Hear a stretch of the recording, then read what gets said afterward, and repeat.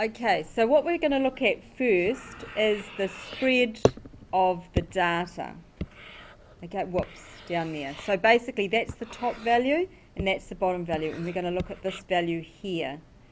So that's 2800 at the top and this is 2000 here, 2100. So that's going to be 1900, yeah? So the difference there is what? Someone said it, come on. 900. Okay, so it's 900 and these are millions. So 900, 1, 2, 3, 1, 2, 3. So that is our range of raw data. Okay, so we use that as the denominator of our fraction. Now let's have a look at the trend. So the range of the trend is this. Okay, so that's going from, this here's 2, 6, and uh, so I've got 2, 6, two zeros, minus, and I'm going to call that, if that here was um, 1900, uh, what are we going to call it? 1950. So what's that? Can somebody tell me? Thank you. Did I hear 650? And again, it's actually millions. Okay. So the range of the trend, so we're going to have our trend is our 650 and we happen to know it's millions. And we're dividing that by the range of the raw data. Can someone do that on the calculator to give us a percentage. So you're going to go 650 divided by 900, 72%. Now let's just do the, the checking. Uh, okay, so, but because we've read the numbers off the graph, we're going to say approximately 70% because we're kind of doing a bit of a rule of thumb here. And does that look about correct? Yeah, more or less. Okay? So we've got 70% of the variation in the data is coming from the trend. Okay, let's have a look at seasonality.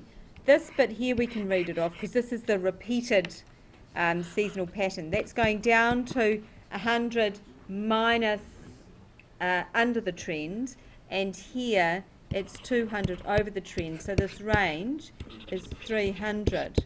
So we're going to go uh, for our seasonality, we're going to go 300 and it will also be million. Oh, these had, was I right with the right number of zeros here? That could be interesting. 300 over.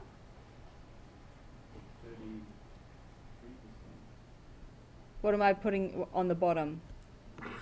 900. Okay, so that becomes 33%.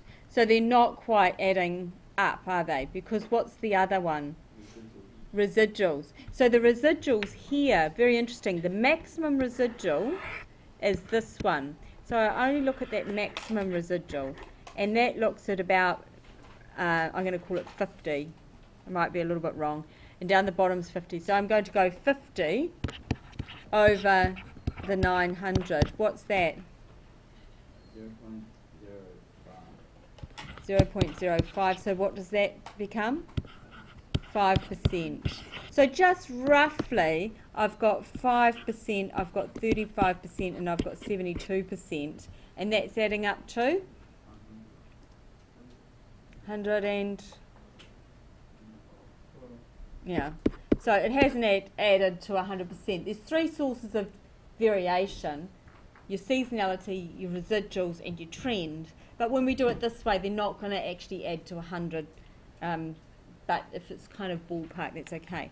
So basically what you're saying is that most of the variation comes from the trend. Then you've got the remainder being seasonality and residuals. Here the residuals are small okay they are a lot less than your 10%. So do we have to show these calculations? It's kind of easier to go with the calculations and just um, be very aware that they are ballpark.